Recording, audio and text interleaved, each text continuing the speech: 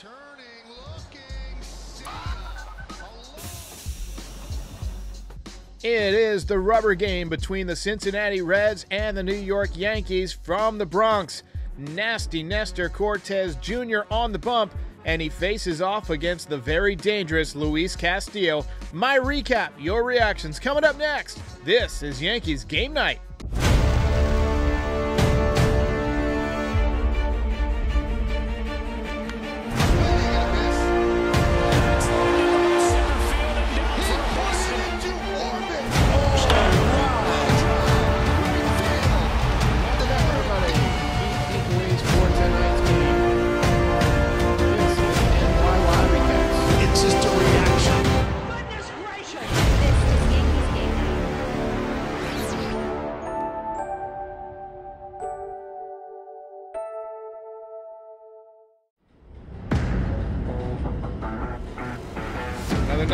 Terrible loss. Can we, for once, have an umpire that isn't complete dog shit? Sorry to uh, break my no cursing rule on here, Mom, but come on. These umpires are horrendous the last really couple of months. All right, before we get started, uh, news on Severino in case you missed it. Low grade lat strain. That's probably at least a few starts that he's going to miss. Uh, it could have been worse. Could have been a rotator cuff. Could have been a labrum. I was worried about that, but you know, it sounds like he's coming back as long as he heals up. He's had some trouble coming back from injuries before. Also, in case you missed it, welcome back to the Yankees family to Tyler Wade. Oh, yes! I hate this! It is revolting! Uh, he was acquired before the game in a trade. He's going to go to AAA, and I hope he stays there. Interesting lineup tonight. Matt Carpenter in right field for the first time in Yankee Stadium. He made a really nice play banging up against the wall to reel one in, but he also made kind of a bonehead play out there as well. Also took a bad route in extra innings. Really good pitching matchup on paper Nestor Cortes versus Luis Castillo. Castillo, in case you didn't know, is one of these guys that's been linked to the Yankees in trade rumors. I didn't put him in my top 10 trade candidates breakdown because at the time the rumors were that the Yankees weren't in on him. They were more in on uh, Frankie Montas, but I might have to do a video on Castillo because he was tremendous tonight. That was my first time watching him live, and I fell in love, quite frankly. Unorthodox arm motion, but, you know, 99 miles an hour of the easiest gas you'll ever see in your life, except for when I go to Taco Bell. Let's get the Taco Bell noise. Uh, Taco Bell, by the way, not a sponsor tonight. Uh, both teams were scoreless through four innings. Top five. Reds loaded the bases, and there was a shallow fly ball to right field. And Carpenter came in and made the catch, but kind of, I guess, didn't know where to throw it. He kind of looked towards second base, ended up making the throw home, but it was way late. Run scored. Ended up being a sac fly. Uh, that's one thing for younger viewers out there who might still be playing baseball. A good rule of thumb is to think about where you're going to go with the ball before the pitch is even hit to you, before the pitch is thrown, really, and then just let it happen. You know, say, hey, if it's hit in front of me, I'm catching it, I'm going home with it. You got to be prepared there, and I think just he's not used to preparing in the outfield for the mental part of the game. Um, Nestor kind of had some ugly body language after that play, kind of showed up Carpenter a little bit. I didn't like that. Yankees didn't get their first hit until the bottom of the sixth. It was a double by Rizzo. Uh, they were doing like a, a charity thing for Rizzo's, um, I guess, charity tonight. And there was a lot of cool prizes, so it was cool for him to come through tonight. Uh, Giancarlo Stanton got the Yankees' first run with a little pepper shot at the drawn in second baseman. Run scored. Uh, really fantastic at bat from Marwin Gonzalez in the bottom of the seventh. 12 pitch walk. That took Castillo up to the 108 pitch mark, got him out of the game uh, after DJ LeMahieu uh, made the final out of that inning. Uh, if he had had a shorter at bat, he might have been able to give you one more inning. Really impressive performance by him. He does go, and, and look, I, I don't read the opposing pitcher's stats very often, but he goes seven innings, two hits, one run, four walks, eight strikeouts. Got to give credit where credit's due. The guy's a number one trade target for a reason. Nestor Cortes also did a great job tonight. Seven innings, four hits, one run, one walk, four strikeouts. But um, From there on out, things just got worse. Jonathan Loaisiga back in the game in the top of the eighth.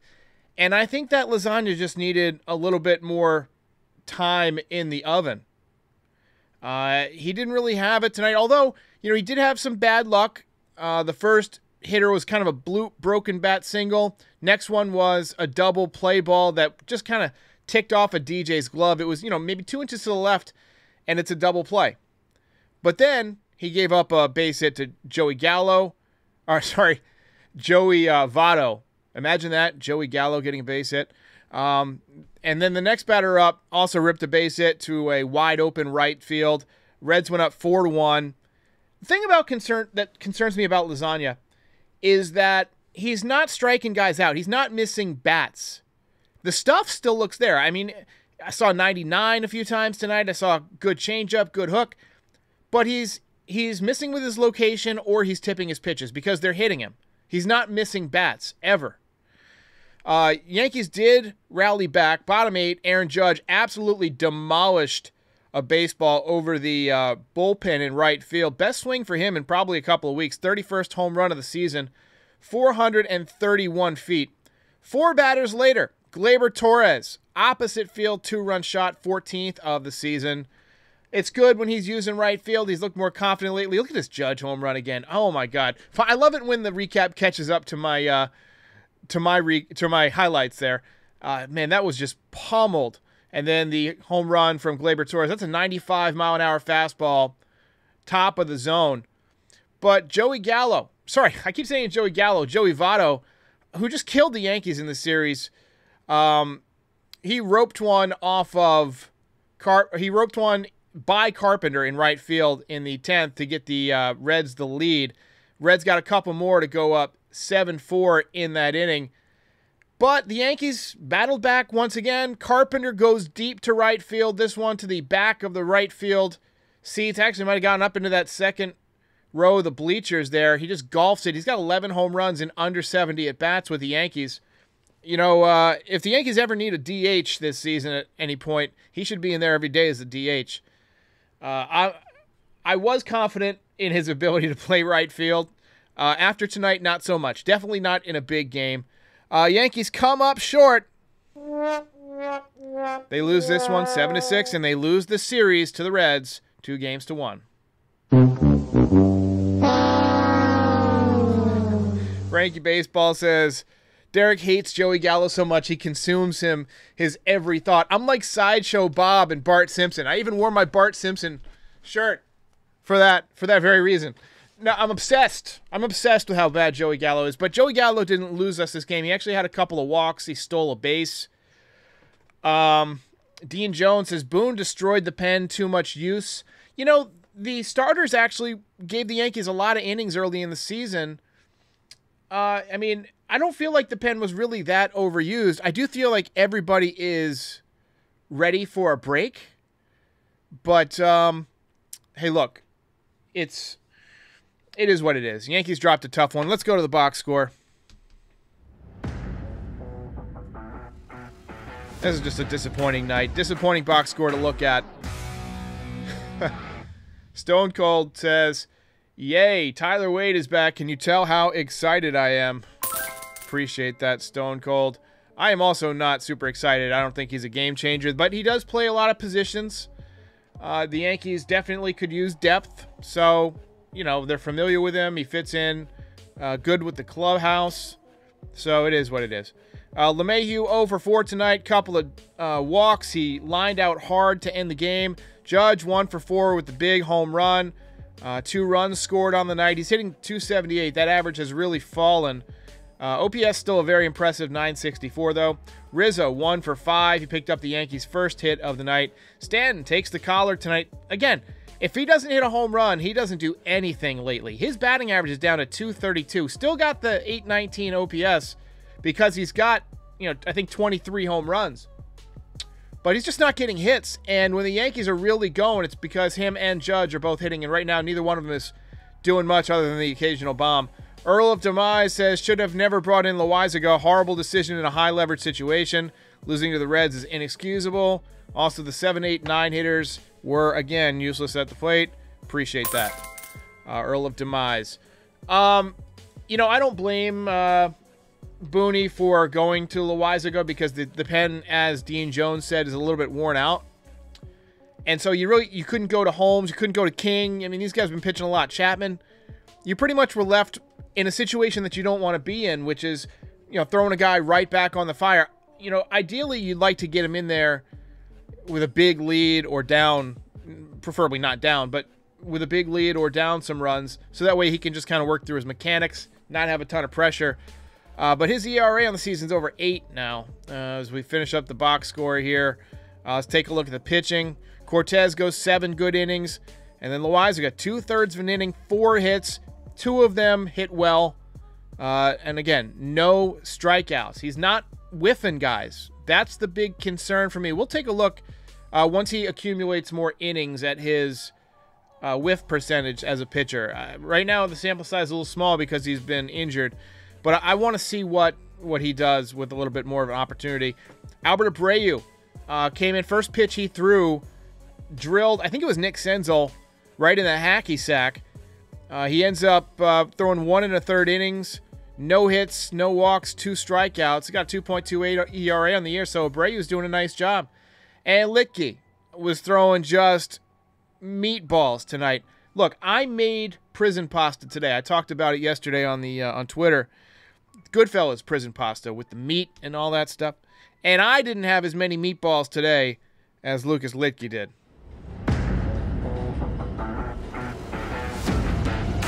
Brady Bozet says, We won the series, LMAO.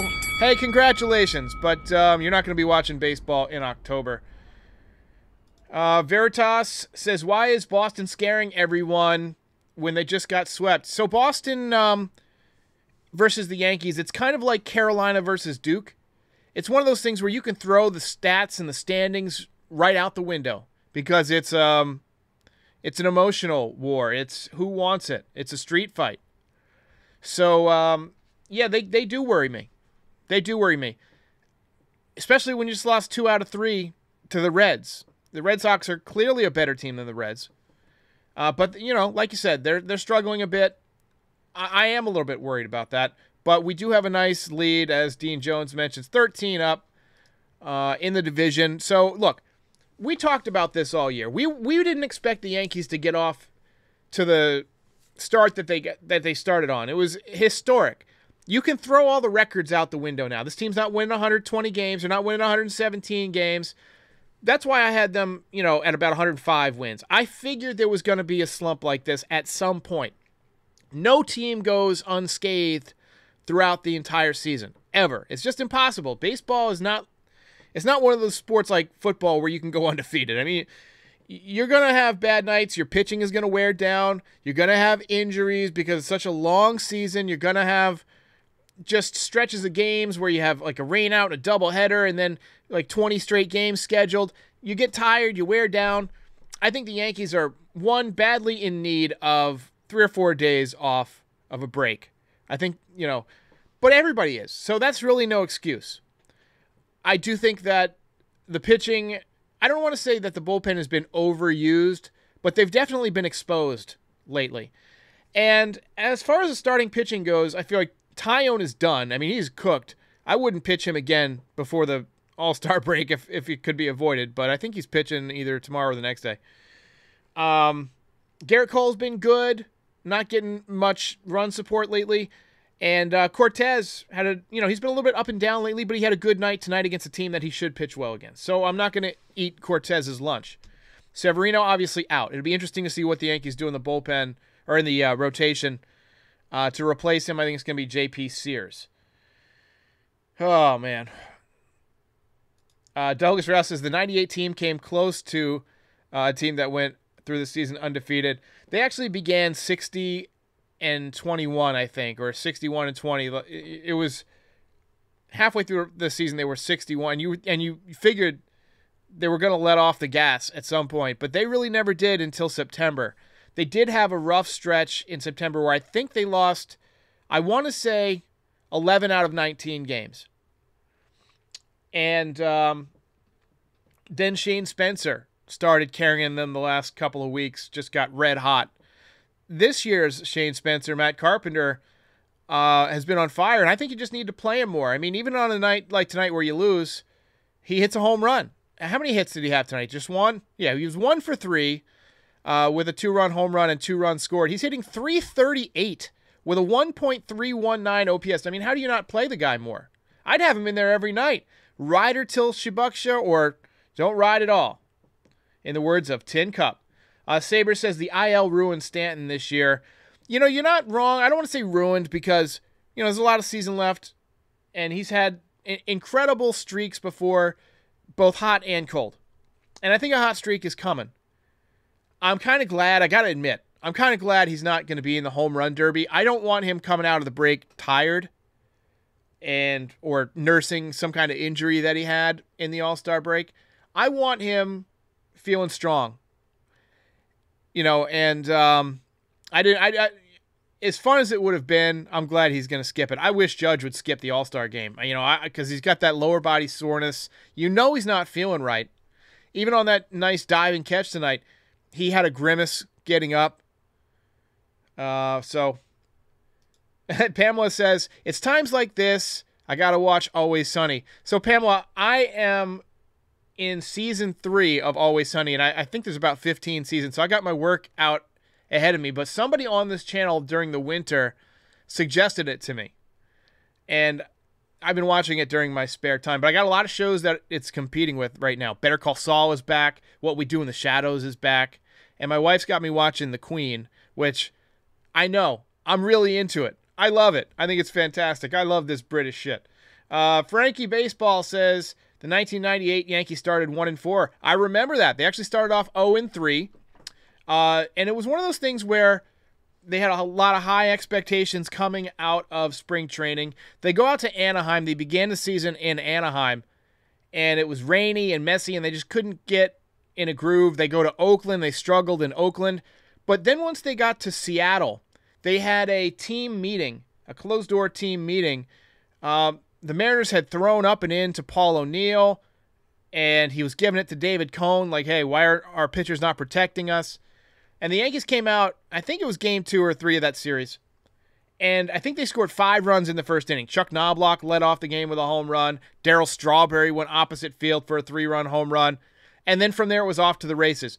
They had one of those back and forth games on opening day that year at Yankee Stadium I think they won 17 to 13. Tino hit a big three run home run. And from there, it was just like win streak, loss, win streak, loss. It was just like win streak after win streak. It was amazing.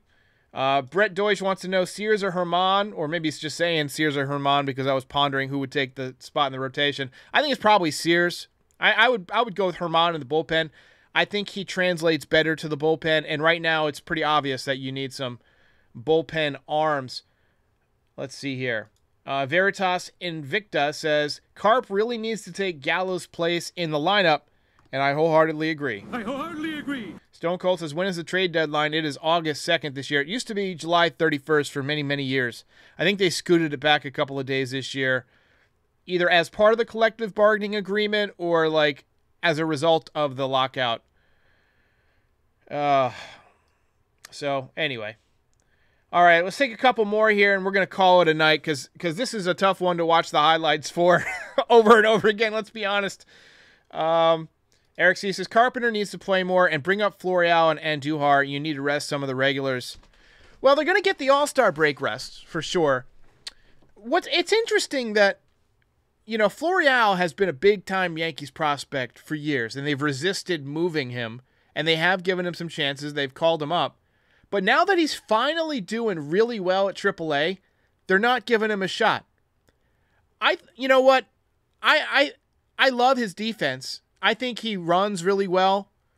If he can hit at all, at all, I think you put him in there over Joey Gallo. And, you know, I don't mean to keep beating up on Joey Gallo, but after his 0 for 3 tonight, he's down to 164 with a 622 OPS. You know, he's got a lower OPS than our light hitting defense first stopgap shortstop.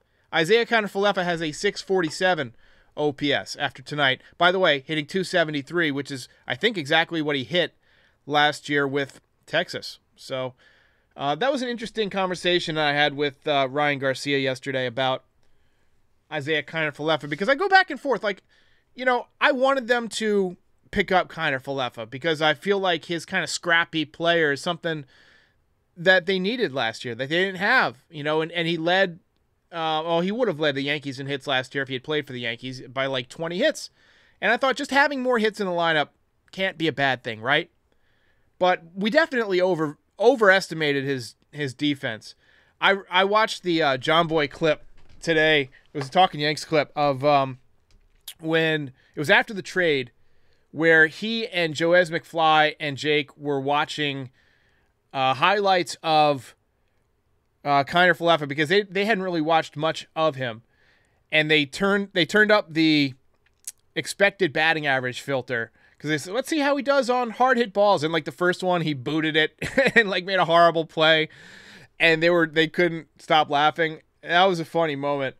Uh, but I really I really like him as a player and I think he's going to improve. Uh, but let's talk about Joey Gallo because he's not he's not getting any better I mean we're almost to the trade deadline so it's going to happen in the next couple of weeks this nightmare is going to be over